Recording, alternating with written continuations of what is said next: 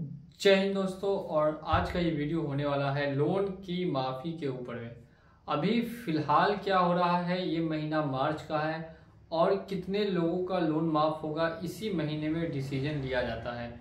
और ये डिसीज़न किस बेसिस पे लिया जाता है, और क्या आपका लोन भी माफ़ हो सकता है कि नहीं हो सकता है, और अगर लोन माफ़ होगा तो वो कैसे होगा, पूरी बातें करेंगे आज के इस वीडियो में। तो अगर आप किसी भी तरीके के पर्सनल लोन में फंसे हुए हैं तो इस वीडियो को ज़रूर से ज़रूर आप वॉच कीजिए, तभी आपको पूरी इन्फॉर्मेशन मिलेगी। ये महीना है मार्च का महीना। मार्च के महीने में होती है फाइनेंशियल ईयर की एंडिंग अब यहाँ पर आपको कुछ बातों का ध्यान रखना है। अगर आपने लोन ऑलरेडी डिफ़ॉल्ट कर रखा है, और आपका जो लोन है वो दो लाख से कम या बीस लाख से कम है तो आपके लोन को राइट ऑफ़ यानी कि किया जा सकता है और ये क्या प्रोसेस है और कैसे होता है वो आप ध्यान से समझते रहिए। जब मार्च का महीना आता है तो सभी बैंक और एनबीएफसी को बहुत ही जल्दी होती है अपने लोन को, जितना भी उनका लोन फंसा हुआ है मार्केट में, उसको वापस रिकवरी करने के लिए। अब इसमें उनको दिक्कत, परेशानी काफ़ी आती है। वो मार्च में कई भी तरह के हथकंडे अपनाते हैं ताकि आज जितने भी उनके डिफॉल्टर हैं, उनसे वो लोन वापस ले सके। अगर ज़्यादा लोगों का वो लोन वापस नहीं ले पाएँगे तो उनका एनपीए रेशियो जो है वो बढ़ेगा। अब ये एनपीए रेशियो क्या होता है? जब आप तीन महीने या तीन महीने से ज़्यादा लोन को डिफ़ॉल्ट करते हैं तो आपके अकाउंट को एनपीए में भेज दिया जाता है। और देखिए बैंकिंग सेक्टर में इसका बहुत बड़ा महत्व है।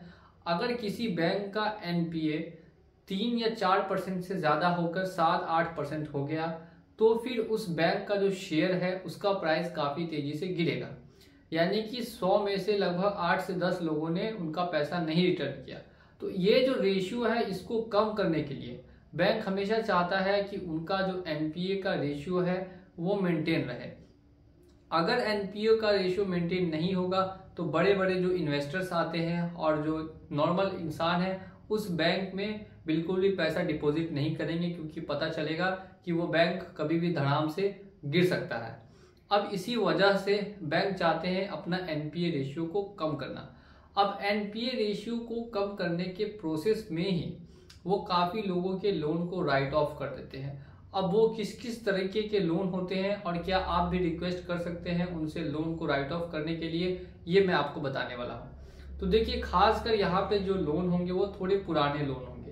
पुराने लोन कहने का मतलब ये है कि बैंक लगातार एक साल से, दो साल से, अढ़ाई साल से, तीन साल से रिकवरी करने की कोशिश कर रहा है।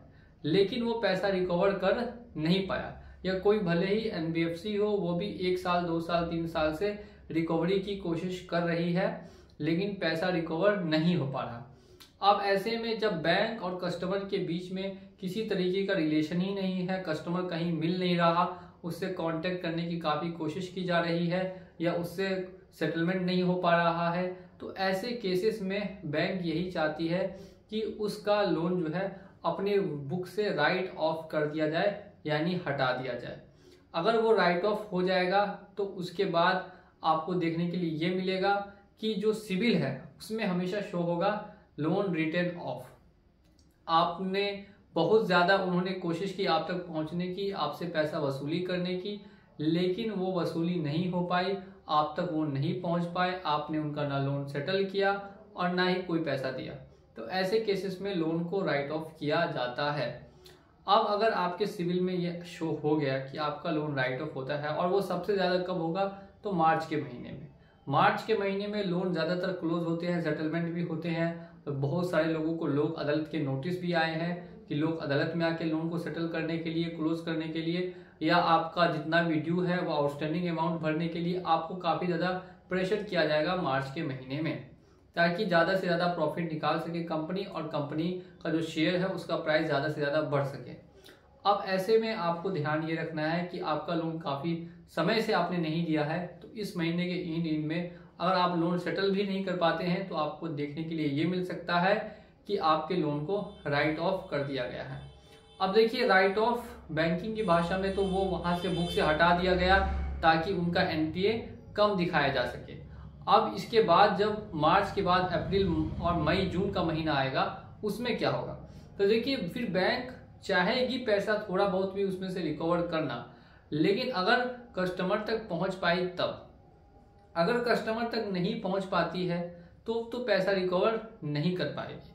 और बड़े बड़े बिजनेसमैन जो होते हैं, जो बड़े बड़े बिज़नेस डूब जाते हैं, वो काफ़ी रिक्वेस्ट करते हैं कंपनियों को कि उनका लोन राइट ऑफ़ करने के लिए छोटे लोग नहीं कर पाते, उनको इस चीज़ की जानकारी भी नहीं होती है कि रिक्वेस्ट भी कर सकते हैं। अगर आपके साथ कोई फ्रॉड हुआ है, आपका कोई पैसा लेके भाग गया है, अगर कोई ऐसी कंडीशन है जिसमें आपके पास कोई प्रूफ है कि कोई आपका पैसा लेके भाग गया है या आपके साथ फ्रॉड हुआ है, या आपके साथ बिज़नेस में इतना बड़ा लॉस हो गया।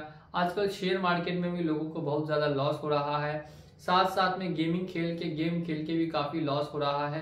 तो अगर ऐसी कोई कंडीशन आई है तो इसमें आप एक बार लोन को राइट ऑफ़ करने के लिए बैंक या किसी से भी रिक्वेस्ट कर सकते हैं मार्च के महीने में, अगर आपका लोन काफ़ी पुराना है तब। और अभी तक राइट ऑफ़ नहीं हुआ और कंपनी अभी तक आप पे प्रेशर कर रही है तो आप एक बार उनसे रिक्वेस्ट कर सकते हैं।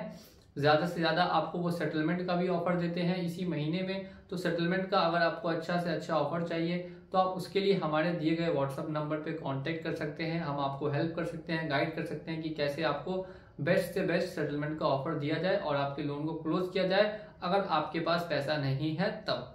अब सेटलमेंट करने में तो आपका सिविल खराब होगा, लेकिन जो आपका बैंक पर परेशान करता है, वो परेशान करना फिर बंद कर देगा।